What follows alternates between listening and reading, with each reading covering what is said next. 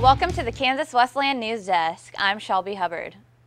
Ever wonder where the school paper comes from or who is behind each weekly edition? We were able to meet up with Professor David Silverman and newspaper editor Tanya Powers, who told us what it takes to make sure there is a newspaper every week. I'm the final say so for whatever happens in the newspaper. Dr. Silverman lets it pretty much be my call. So if I want to do something different with the layout of the paper, that's up to me. Students produce the paper, they edit it, uh, they deliver it, and hopefully, as I said, students are reading it, and it also, you know, faculty and staff read. The Advanced News team will be heading to the Kansas Media Awards in mid-April. In sports news, the Kansas Wesleyan football team has started spring training and are already into their third practice. We were able to meet up with Coach Chris Fadenholtz, who told us about the spring training game coming up.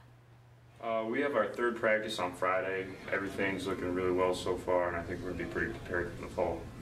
Um, it's April 27th. It's going to be an inter-squad game, so, you know, our team versus each other, and I think it's going to go pretty well. This year's spring training is making the upcoming season look promising. Time to take a look at what's happening on KKW Radio. Jalil Turner has this report. Thanks, Shelby. I'm John Little, representative for KKWU Radio. KKWU Radio is a college radio station ran by we, the students. The radio station plays a variety of different shows, such as hip hop and R&B, to classic rock, and the local sound featuring Amber Bennett.